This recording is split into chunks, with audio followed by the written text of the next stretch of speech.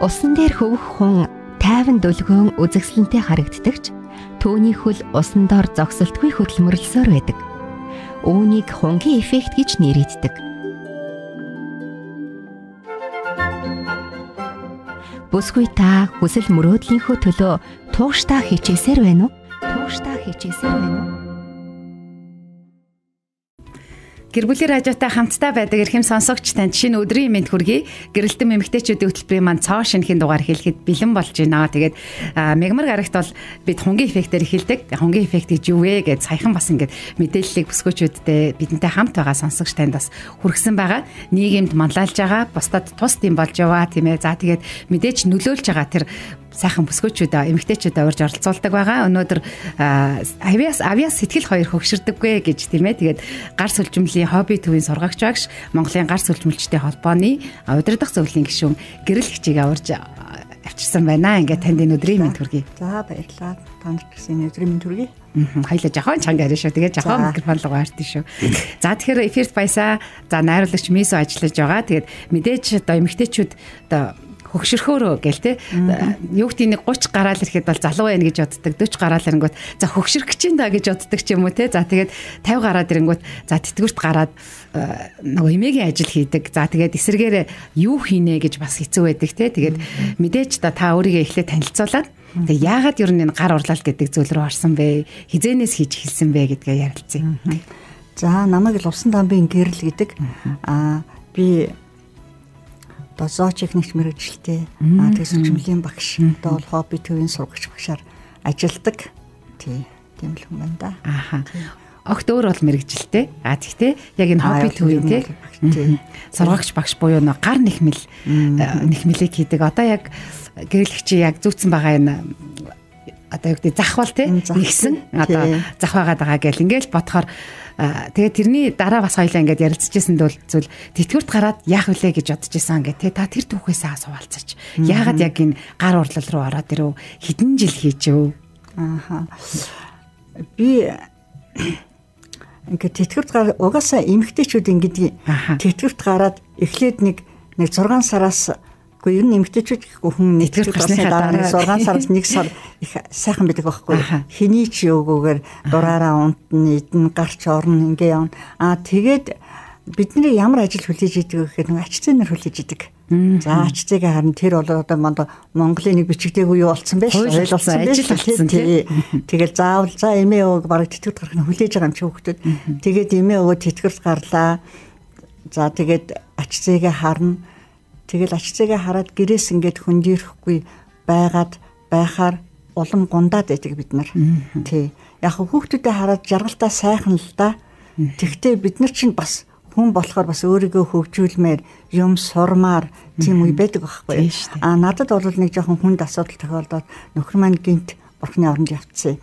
Тэгээд би нэг хэсэг би өвдөөд гундаад ерөөсөө ингээд нэг болчихгүй байгаад исэн. Тэгээд бодоод исэн чинь сүүлдээ би нэг жоохон сэхээ аваад бодоход би ингэж хүүхдүүдийг ингэж зоож болохгүй юм байна гэж бодоод. Тэгээд би ер нь юу хийж чадах вүлээ гэж бодож исэн чи би нэрээ жоохон хүүхэд байхдаа намайг жоохон багт манай ээж их сүлжилтсэн гэсэлтэй. Тийм. Тэгээд би нөгөө ээж маань жоохон бие муутай хүн байсан болохоор ээжийнхаа нөгөө юм шулуун нэхээсүүдийг хийж өг тусалдаг гэсэн байхгүй. Тэгвэл тэр нарийн юмнууд нь ерөөсө сурыч гэж бодоагүй. Тэр үед хүүхдээс болохоор ерөөс тэгэл ээж нэг ийм ингээд ингээд их ингээл дээш нь яг ямар ч хэмээгүй шулуун нэхээс хийж өгчөө тэгээс суудаг гэсэн. Тэгээд тэр маань харин тэтгэвч гарах тэрэг болж байгаа юм чинь. Тэгээд би нэг юм хийдэгтэй гэд ингээд хийгээд тэгж байж байгаа. Тэгээд дараа нэг шивэд рүү хүүхдүүд рүү очно хэсэг амьдарсан. Аа тэгэхэд бол нэг энэ гутлыг яг хийж сураад тэгээд за би Монголд эмэгтэйчүүдтэй Монголынхаа эмэгтэйчүүдийн хийж сурсан юм а заад сургамаар байна гэд хүүхдүүдтэй хэлээд гойгаад тэгээ Монгол руу ирсэн байхгүй. Тэгэл ерөөсөө энийг хийж гэлсэн. Тэгээ гар сүлжимлийн хобби гэд нэг төвийн нямдаа багштай уулзаад ингээд за би нэг юм хийж чаддаг юм хүн юм байгаамаа гэгээд тэгээд ингээд яад аа би танад сургалт явуулъя. Аа та материалаар намайг хангаж өг. Тэгээ би танд энэ материалыг чинь борлуулах хүнд цуглаж өгье гэд. Тиймэрхүү маягаар гэрээгээд хоёлаа. Тэгээд анхан энийг үйл ажиллагаа эхэлж исэн. Одоо тэрнээс хойш одоо бараг 7 8 жил болчих тээ. Маш олон шавнартай. Тэгээд э, одоо маш олон одоо бүсгүүчүүд за тэр тусмаа та бас хэлжсэн ахмад настай эмэгтэйчүүдээ бас яг энэ сургалтандаа уурж авчираад тий цагийн үр бүтээлтэй өнгөрөөгөөд ингээд бас нэг зүйлийг ч гэсэн хийгээд өөрөө өөрийгөө бас тэр амьдралын нөгөө нэг одоо зүйлүүдээс бас ингэж гаргаж сураасаа гэж хичээдэг хичээдгээ гэж тий тэгээд нас насны шавнар байна биз? Нас насны шавнар байгаа. Бүр 8 настад одоо хамгийн сүүлийн сурагч маань 8 настай охин ирээд Ерөөсө гэрийнх нь юу ч нэгтгэх сүлждэг хүн байхгүй. Энэ л ингэж зүтгээд ах ингээ ээж нь дагалаад ирсэн. Өөр юм бэ. Тийм тэгээд анхан шатны нөгөө сүлжих юу гэж технологи заагаал тэгээд жижигхэн гар утасны одоо сүнг үргээд жижигхэн тэгээд явсан. Тий. Тэгэл яваад айгу баяртай явсан тэр охин маань. Аа тэгээд 80 настай хүртэл эмгтээчүүд надад хамрагддаг. Эмгтээчүүд гэхгүй эрэгтэйчүүд ч ирдэг. Өө тийм үү. Тэгдээс үүсдэг эрэгтэй хүмүүс. Эрэгтэй хүмүүс эмгтээчүүдийг бодох юм бол нөгөө олон юм бодож сатаарах юм айгүй багтай байдаг ч. Төвлөрөөд хийдэг. Төвлөрөөд айгүй сайн сурдсан шүү дээ. Тийм. Аа тэгээд би нэг оргил аршаан совлилд явсан чинь нэг ширээн дээр ингээд нэг 10 хүн сууж яснаас 7 нь бэлэвсэн хүн байсан. Аа тэгээд харж яхад бүгдээрээ л нэг жаахан тийм нэг дутуу Жаахан гониглангуу. Тийм. Тиймэрхүү. Тэгээд би өөрөө ч тийм туулсан болохоор энэ эмэгтэйчүүдийг би яаж туслах вэ? Энэ эмэгтэйчүүдийн нүдэнд яаж цаг гал асаах вэ гэдгийг би бодсон байхгүй. Тэгээд би ерөнхийдөө сургалтынхаа чиглэлийг тэтгэвртэй гараад сууж байгаа эмэгтэйчүүдтэй нэмэлт орлого олоосай, юм хийж сураасай, тий? А чөлөөт цагаа зөв сайхан өнгөрүүлээсэй. А тэр тэргээр аз жаргал мэдрээсэ гэж бодоод а тэтгэвртэй гарсан тийм эмэгтэйчүүд нэгдүгээрт хоёрдугаарт гэртээ хүүхдээ хараа сууж байгаа эмэгтэйчүүд бас айгүй их хамрагддаг л да хүүхдүүдээ юм хий ингээ тэр цагаа ингээ сайхан өнгөрөө юм сурыг гэд манай эмэгтэйч айгүй тийм дайчин шаргуу хөдөлмөрч штэ. Суралцсан төлөв тэмүүлэлтэй тэгээд тэд нар маань тэднийг бас хоёрдугаар тавьдгийн. А тэгээд бусад эмэгтэйчүүд ажил төрөлдөө тэгтээ сонирхолтой сонирхолтой бүгд би ер нь эрс үнээс хаашаа гэдэггүйгээр сургадаг. Гэхдээ туйлын зорилго бол тэр хоёрыгоо тийм юуны бүлгийн хоёр эмэгтэйчүүдээ орлоготой байлгасан, аз жаргалтай байлгасан, хийх юмтай байлгасан гэж бодож сургалтаа явуулдаг. Үнэхээр одоо хамгийн чухал зүйл энэ байгаа. Бид нар ч одоо э, яг л одоо нэг бол нас дээр гараад ирэхээр эсвэл яг хүүхдээ хараа сууж явахдаа ганцаарддаг тий. Нөгөө хүмүүстэй үг хэлээ одоо хуваалцаж ярилцдаг байх хүн хэрэгтэй байдаг. Давхар хажуугаар нь орлого бол маш чухал гээл те. Тэгээд Дооги Бат хоёр маань зүр хилгээсэн байна. Фунцаг дорж болромаа гэрэл огштой аз жаргал эрүүлэнхийг хүсье гэсэн байна. Маш олон зүр хилгээж тунгаа тунгалаг мундаг шүү гэсэн байна. Эрдэнэ чимэг Чулуунбаатар сайхан ихчтэй улам их амжилт хүсье гэсэн байна. Дэлгэр нансалмаа мундаг багш шүү их зүү сурсан гэд.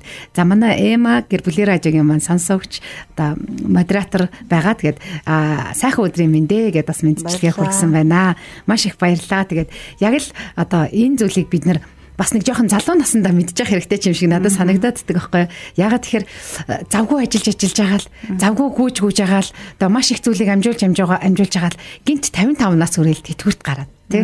За тэгээ таны төрөний тэр зүйлийг бол өстой мэдхгүй ингээд би мэдэж авч байгаадаа их баяртай байна. Эхний одоо 6-аас 1 6 сараас 1 жилийн хугацаанд бол сайхан байдгаа гэж штэ. Дураараа дургаад нөгөө дуртай зүйлээ хийгээд гэдэг шиг. А тэгснэ яах вүлээ гэж бас тий. Тэгээ мэдээж хүний амьдрал юм чинь амьдрал бас цаг хугацаатай юм чинь одоо ингээ хайртай хүмүүсээ алдах гэл маш олон зүйлс тулгарч байна. Тэгэхээр тэр үед нэмэгтэйчүүд яах вүлээ гэж ингэж гацаж эсвэл сэтгэл гутралд орж эсвэл бүр ингэж өөр өөрийгөө цааш нь хийж тий. Бүр ингэж гундаж өвдөж ингэж бай байснаас энэ нь чухал юм байна шүү гэдэг ингээд таны амьдралын тишээгээр таны одоо ингээд хийж байгаа бүтээж байгаа тэгээд маш олон одоо сурагчдыг тий бэлдэж байгаа шавнарыг бэлдэж байгаа энэ зүйлийг харахтаа бол их баяртай байна л да. Тэгээд миний хувьд яг тэгж бодоод байна. Тэгэхээр та бас энэ дээр ямар үзэл бодолтой байдаг вэ? Жаахан залуудаа одоо бодоод бэлдээд тий өөр өөрийгөө бэлдээд одоо за тэтгэврт гарлаа мэдээж амрах цаг хугацаа байх хэдий ч гэсэн яг л ингээд орлоготой байх. Нөө тэтгэврийн хитэн цаас маань цалингаас хамаагүй багтаал явчихдаг тий. Тэгэл үр хөвгтүүдтэй харах уу тэд нартай дараа болох уугүй юу гэл ээж аав нарын маань сэтгэл бол үнэхээр л одоо зовдгийг бид нар мэдэн штэ. Тий. Гэхдээ залуу насны тийм боддгоо шүү угаасаа. Тий. Залуу наснд юу ах вэ? Одоо хайр дурлал байна, ажил төрөл байна, амьдрал байна. Урд чинь тийм их юм байхад тийм юм. Юу тэрийг бодох гэж. Бод за нэг 100-ны 20 30% нь бодноо. Ирнэ тий ингээд яа. А гэхдээ л бол залуу байхад тиймэрхүү юмыг бодохгүйгээр сайхан амьдрын тэгэгч ёстой. Эсвэл залуу амьдрал залуу насныхаа амьдралыг сайхан л өнгөрөх ёстой шүү дээ тийм. А тэгээд одоо нас яваад бид нар нэг жоохон ахмад болоод тэтгэврт гарна шүү дээ. Тэгэн гут зүгээр л сууж болохгүй. Тий. А би сургалтын дээр ирсэн эмэгтэйчүүдийг заа чи энийг заавал сур. Энийг хий. Чимээгүй суу. Одоо энийг хий гэж ерөөсө шахдаггүй. Эмэгтэйчүүд маань ирээд яриасаа, сэтгэлээ нээгээсээ, онгойлгоосоо тий инээлдэж хөхрөлдөөсөө гэж бодож би сургалтаа явуулдаг байхгүй. Тэгээд тэднийг хордоггүй.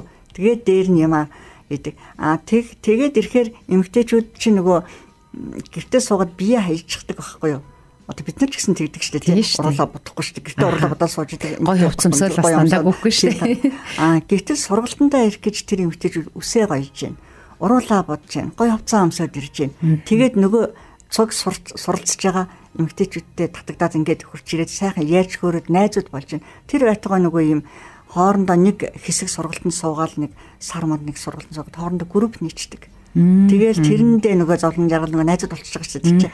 Юм надаач ярилцсан би ийм сурч яа ингэж нэгэ би бинээсээ суралцсан чуулсан. За хийсэн юм а би биендээ үзүүлж тэргээрээ нөгөө ямар гоён ямар гоём хийцэн яасан уран гэхээр хүн хурам атах Тийм шүү. Яг тэгэл тэгэл нүдэн гэрэлтээд ирдэг. Тэрийг л харах би айгуу тавтай. Аа. Үнэхээр чухал тэгээд инх маа маань, эма маань thank you so much гэсэн байна. Оюурд нь таньдаа амжилт гэсэн байна. Цэцэгчээж баларагч маш их баярлаа гэсэн байна. Тэгээд хобби гэд төв маань одоо яг хаана байна те гар сүлж мэлингээр ямар ямар бүтээгдэхүүн бүтээлүүдийг уралж гин. Уралхад одоо нөгөө сургаж гин. Яг одоо та 7 8 жил болчихжээ гэд хэлсэн. Одоо хитэн шавтай болсон байна мэдхгүй одоо тоолж мэдэхгүй шүү дээ. Тий. Тэгээ би өөрийн гараар яг ингээд хийсэн бүтээл гэхээр нэг 100 гаруй байдیں۔ Одоо зөвхөн гутал цүнх би энэ гутал цүнх ажиллааг дутаад гоё гоё өөрчлөд байчихсан тий. Тэгээд манай сургалтын төв бол нэг хос зүүнний багштай, тоглоомны багштай. А би бол дэгээ 100 гутал зүгээ заадаг гээд ингээд юу яасан яг нөгөө нэг чиглэл чиглэлээр тусцсан юм заагаад явдаг тийм төв байдаг л да. Төмөр замын арта шар байранд байдаг хобби гэдэг юм тийм. Ардаа сургалтын өрөөтэй. Тийм. Тэгээд тэндээ бол сургалтаа зохион байгуулчих. Тэр нь бол урлан тэгээд тэндээ бид нар сургалтаа зохион байгуулцдаг. Хобби гэдэг төвийн одоо пэйж хуудас байгаа юу? Энд дээр манай нэг сонсогч маань асуусан байна сүүсээс одоо өглөөний минь энэ сургалтанд яаж суралцах вэ гэдэг утасны дугаараа өгч болно эсвэл пэйж хуудасаа мэдээлэл өгч болно. Өө тэгээд би дараа постэр утасныхаа дугаарыг хаягаа их тодорхой зурмартаа оруулчих. Хөтөлбөрийнхаа доор постэр таас аваад оруулчих тийм тэгээд манай зөвхөн миний сургалт болохоор 7 хоногийн 3 дахь өдөр 14 цагаас 19 цаг хүртэл хагас сайн бүтэн сайн болохоор 11 цагаас 17 цаг хүртэл явагддаг. Тэгэл би 7 өдөр цүнх гутал цүнх. Манай дүү бас таны шав юм бэлээ. Өчигдөр пост оруулчаал харлаа. Тэгээд манай дүү бас яг л нөгөө гурван жоохноо төрүүлчээд гурван жохон ойрхон учраас гэрээрээ маш их юм хийдэг байсан. Тэгэл би хараад яаж амжилтдаг байна гэж би болохоор өөрөө кек чигээл, бело чигээл гэснээр гуталж аяал, цүнх чаяал, ингээл хувцж аяал, ингээл тоглоом чигээл хөөхөн хүүхдийн тоглоомын баг зүртэл гаргацсан гэл ингээл байжсэн. Тэгээд э, таны шав гэдгийг хараад хөөх тийм байна. Тэгэл бид нар чинь бас яхав тэ нөгөө ичдөөс юм чинь бас дүүдээ дим болчихсон гэл. Тэгээд гэсэр нас гой готлон өмс чийсэн гэл захиалал захиалал бүгд л авдаг. Гэтэл ингээл хийх хийж өгөхтэй хүртэл яах вэ ингээд та нарт арай хямдах уу гэхээр нь яах юм бэ ингээл чиний орлого чинь ингээд үсттэй гэл те. Тэгэл бүсгүүчүүд маань нөгөө сурах явцдаа их олон зүйлийг одоо хийдгээ гэж та хэлжсэн шүү дээ. Эхлээд өөртөө ой, хүүхдтэй ой гэл сонирхолтой зөвлөгөө өгдөг гэсэн те. Тэгдэг би ингээд ороод ирэх нь за ямар юм сонирхож байна гэж яг нөгөө загваруудаа үзүүлээд тэгээд сонголтыг хэлгэн л дээ. Тэгээд заа чи эхлээд өөртөө хий За өөртөө чинь дараа нь гэргийнхэндээ хий. Хатуунартай хий. Тэгж итэл чи бүр алдаагаа олж хардаг болно. Чи өөрөөр яаж хийвэл гоё яад хийхээр болохоор байна гэдгийг мэддэг болно. Ингээд ирэнгуйч чи дараа нь захиалга авч хийгэрээ. А яг тэ одоо нэхмэлийн сүлжээд нэг их айгүй их овоож авцсан ашиг олдоггүй л дээ бид нар. Тий. Тэгээ манад бол харьцангуй нөгөө гар урлал нэг тийм үнэлгээ багтаа штэ. Тэгээ хүмүүс яасаг үнтэй мөнтэй ингээл тэгэл бас тэгдэг тийм ээ.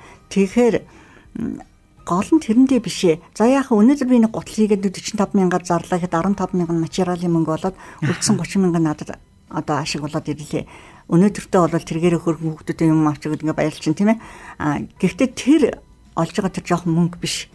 Тэр хүн цаана юм сурч байгаа. Тэрийгэ хийгээд хүн магтаж байгаа тэр л аз жаргал. Яг. Тий. Давхар хажуугаар нь өөрөө тент хүмүүстэй хамт сургалтанд цунгаа нөгөө хэрэгцээ хангагдчих шүү дээ тий ярилцах. Тэгэл дараа нь бол ерөөсөө яг тэрийгээр надад нэг юм гарын 3 4 шав байдیں۔ Тэгэл нөө захиалгууд аягүй орж ирдэг л дээ. Тэр болгоны би нөгөө хийгээд ажиллахгүй. Би зөвхөн сургалт сургалтаа явуулдаг загвараа л хийдэг байхгүй юу. Тэгээд миний тэр захиалгуудыг хийж өгдөг хэдин сайн шавнар байдаг. Тэд нар бол яг тэргээр мөнгө олдог.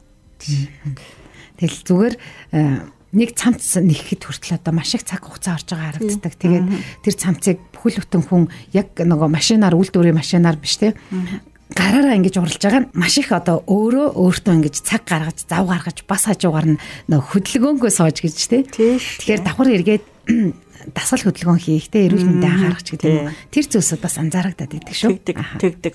Байнгын нөгөө энэ нуруу мөрөө одоо хоёрын муу ингээд ийм дасгалууд бол хийж л ах хэрэгтэй. Өглөө осоо тэрийг л дадал болгочих хэрэгтэй байхгүй. 21 хоног ихлэх хүнд дадал суудаг шүү дээ. Өглөө осоо л нэг энэ хөзөө толгойн хоёрын нэг дасгал масгал ч юм уу хийчдэг. Тэгээд тэрийг өөрөө суулгаал өгөн тэрэндээ бүр хичэр хэтэрхий их махраал, ядар зүдэртрээ суугаад тэг шаардлага ерөөсөө байхгүй. Зүгээр аз жаргалтайгаар сайхан чөлөө цагаар хий. А тэрийгэ урлаад борлуулад нэмэлт орлого ол. Тийм.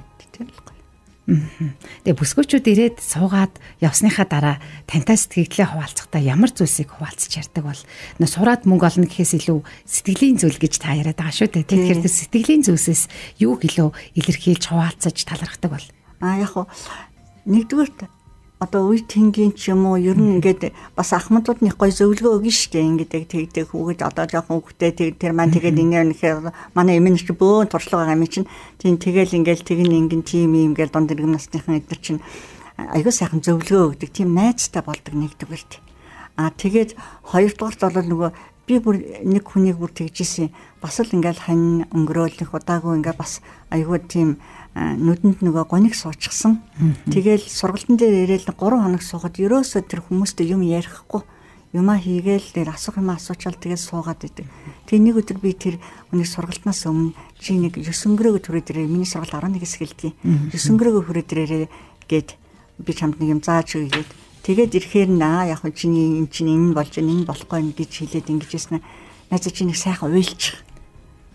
Тэг ингээд би чамд тэрийг чи сайхан уйлчих надад ингээд зовлонгоо яриад уйлчих гэд. Тэгсэн чинь тэр учрыг уйлсан. Тий. Тэгээд цаг гарan ингээд уйлж байгаа байхгүй тийм эмхтэй. Тэгээд тэгж уйлаад дотор нь айгуу сайхан онгоо. Тэгээд тэр өдөр тэр сургалтанд сахгүй баярлалаа багшаа явсан л да. Дараа надтай бүр айгуу бэлэгтэй ирээд айгуу сайхан болсон. Тэр өдрөөс хойш ингээд сэтгэл хөнгөрөөд бүр айгуу гоё болсон. Онгоосон гэж тий. Тэг үнэхээр тэр сэтгэлийн асуудал гэдгийг бол бид нэр ойлгохгүй шүү дээ. Тэгэл амьдрал юм чинь цаашаа яв тий чи одоо ингээл гар хүлч хөдөлж байгаа бол тэг гэдэг гэтэл хүн сэтгэлдээ тэгэл бүглэраад бүгшаал явж байгааг нь анзаарахгүй анзаарах нь битэл ойлгохгүй л байдаг шүү дээ. Нэгэнт л явсан хүнийхээ араас явахгүй нь хууль. Аа тэгээд одоо оногдсон насаа туулах нь хууль. Тийм учраас тэгээд тэр хугацааг чинь дими одоо уйлж өнгөрөөгд яах вэ тийм ээ? Ойлгох цаг байлгүй л яах? Гэхдээ Тэгээд би тэр сурах суралцахаар ирсэн улсуудаа багш гин, ээж гин, найз гин байхыг хүсдэг. Тийм шүү. Үнэхээр чухал чунаг золж аргал гар урлалд орлуулж өгсөн багш минь ээ гэсэн байна. Олон багш олон шавтай байх бас ингээ сайхан шүү те. Маш олон маш их урмын үг авдаг. Тэргээр би нөгөө одоо даль хийж чигүүл тэрэндээ их урамтай сайхан амьд Тийм шүү. За тэгээ хоёулынхаа ярилцах цаг ер нь өндөрлөх болсон байна. Тэгэхээр таас бүсгүйчүүдтэй одоо урам зориг болох үг тий. Магадгүй одоо гэрте хүүхдээ хараад яахаа мэдгүй, юу хийхээ мэдгүй тий. Би нэрээ хийм болоо гэл ингээд суух үе байдаг тий. Магадгүй бас арай ахмаг настай хүмүүс маань бас бас л дахиад гансраад ганихраад байж ах вэ те? Тэр хүмүүстэй те? Яавал болдъё яач л одоо те? Өөр өөрийгөө илүү их ингэж аз жаргалтай бас давхар хажуугаар нь одоо багхан ч гэсэн орлоготой байх боломжтой ингээд гоё урмын үг те? Урайлгыг бас хэлж өгөөч. Ерөөсө би одоо тэр нэг хэдхэн хоногийн өмнө нэг дойрын найрал дуучдын нэг өндөр настай найрал дуучдын нэг юу ütсэн тогтдог ütсэн Тэгээд тэрийг харчиж ямар сайхан юм бэ? Ерөөсөө л авьяас сэтгэл хоёр хөгшөрдөг юм байна. Хүний бие организм бол насны явгаар ирэхэр хөгшөрнө. Тэгээ авьяас сэтгэл хоёр хөгшөрдөг юм байна гэж бодсон. Тэгээд би одоо эмгтээчүүдтэй гэртээ хүүхдээ араа сууж байгаа өсвөр насны охид одоо дунд иргэн насны бүсгүйчүүл маань одоо ээжүүд одоо миний үеийн улсууд бүгдээрэнд нь ерөөсө гар урлал гэдэг чинь хуучин нөгөө эмээгийн нөгөө бабушка нарын хийдэг байсан нөгөө аймс бодол бид нар ч одоо тийм л төсөөлөлтэй байсан шүү дээ. Тэрийг одоо нэхмэл гэдгийг эмээнэр л хийдэг ажил гэж бодсон. Одоо тийм болсон биш болсон. Бүх төрлийн материал байна. Бүх төрлийн загвар хаанаас л үзэл одоо болохоор тийм байна. Тэгээд энэ нэхмэл орлол сүлжмэл орлол гэдэг маань ерөнхийдөө юу болсон шүү? Урлаг болсон шүү. Ийм сайхан юм зүгээр л залах урлаггүй ирээд суралцсан. Тийм. Гэхдээ яг яг нэгтгэг хүн нэгтгэн хүн гэж бас байдаг да. Тийм байгаа. Яг үнэ. Бүх хүн чадна гэж байхгүй ч тэрийг те. Тэгвэл ер нь хүнд нэг голын хатгаас гэж нэг юм байдаг гэсэн. Тий одоо өөрөөр хэлбэл нөгөө дээрс хэрэгтэй нэг сүнсний өгдөлтэй тийм ээ л да. Тэгээд тэрийг олж чадсан хүн маш их аз жаргалтай амьдардаг. Тий. А тэрийг хайгаараа бүгдээрээ. Магадгүй гар орлолч хийж болох юм аа гэж тий. За танд маш их баярлалаа. Тэгээд ажилд нь амьдралд нь гэр бүлд нь хамгийн сайхан бүхнийг хүсэн ерөөй. Аа За баярлалаа. Танай FM аюу олон сонсогчтой юм байлээ. Баярлалаа. Би танахаа урилгыг авчаад танахаа орж үзсэн чинь миний сонсдог FM байлээ шүү дээ. Би одоо дээд тийм хаяг маяг харахгүй сонсдог юм байна. Тэгээд сонсоод байдаг байх нь шүү дээ. Тэгээд тэгээд би хүүхдүүдтэй хэлсэн чинь манай хүүхдүүд бүгдээрээ өө тийм шүү дээ. Би сонсдог, би ч сонсдог, бүгд сонсдог байгаа байхгүй. Тэгэхээр ийм олон сонсогчтой ийм сайхан одоо радиогийн ярилцлаганд орсон даа их баярлалаа. Баярлалаа маш их баярлалаа. Бас сайхан урмын үг авчлаа. Тэгээд Дада сеньор манай их чи юу гинэ. Тэгээд ямар сайхан яриа вэ гэж тунгаа битсэн байна. Дооги бат хоёр та минь мундаг шүү. Танда хайртай шүү гэд зөр хэлгээсэн байна. Тэгээд гэрэлтэн мэмэгтэйчүүдийн хөтөлбөр хонгийн эффектээ энд хүргээд өндөрлөж байна. Бидний ивент гэж тэтгэн ажиллаж байгаа Амрасфелд эсгийн урлал байгаа. Тэгээд та 99 977 гэсэн утсаар холбогдоод бас дэлгэнгүй мэдээллийг авчаална шүү. За үргэлжлүүлээ танд сайхан уран бүтээлийг хүргэж байна. Тэрний дараа сэтгүүлч Ичгомаа сонирхолтой мэдээлэл хаалцсан. Тэгээд толискээр эргээд олзъя. Усан дээр хөвөх хүн тайван дөлгөөн үзэгсэлэнтэй харагддагч төөний хөл усан дор зогсолтгүй хөдөлмөрлсөөр байдаг. Үүнийг хунгийн эффект гэж нэрийддэг.